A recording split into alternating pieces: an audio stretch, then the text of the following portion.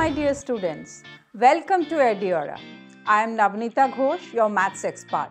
We have learned how to find out the area of different geometrical shapes, right? But we often see many lands, grounds, plots around us which are not of all these shapes. They are irregular shapes and they do not resemble any shape whatever we have learned till date. For example, take the map of any country. Can you say which shape it is? It can't be a proper geometrical shape, right? It will be an irregular shape.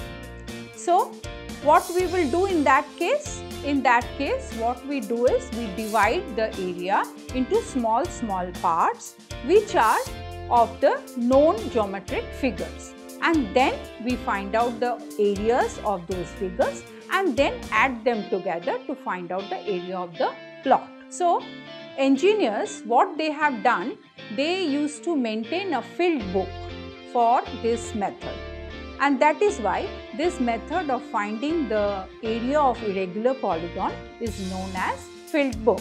Let us take an example. Look at the field of a village farmer Ramlal. It is looking like a pentagon which is not regular in shape. That is the sides of the pentagon are not equal. He needs to calculate the total cost of ploughing at the rate of rupees 14 per meter square. Can you help him out finding the cost? First we will name the field, okay?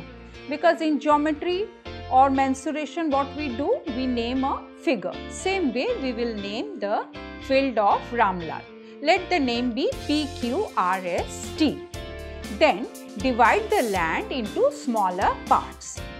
Ramlal measured some of the lengths as PR is equal to 24 meter, PN is equal to 18 meter, PO is equal to 10 meter, QM is equal to 5 meter, SN is equal to 9 meter, TO is equal to 7 meter. So, area of PQRST is equal to area of triangle PQR plus area of triangle SNR plus area of trapezium TONS plus area of triangle TOP and we know all these formulae right?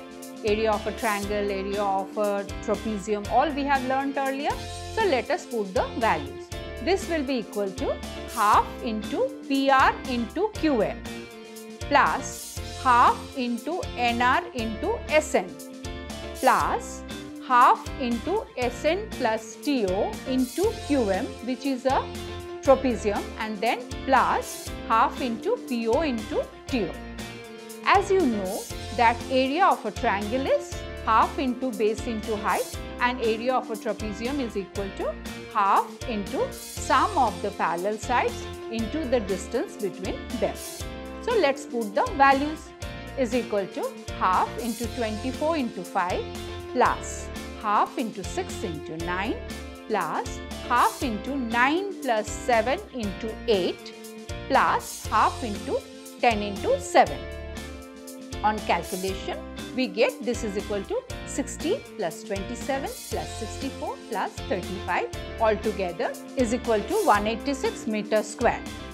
So, cost of ploughing obviously will be equal to rupees 186 into 40 which is equal to rupees 2604. So, this much money he has to spend to plough his garden.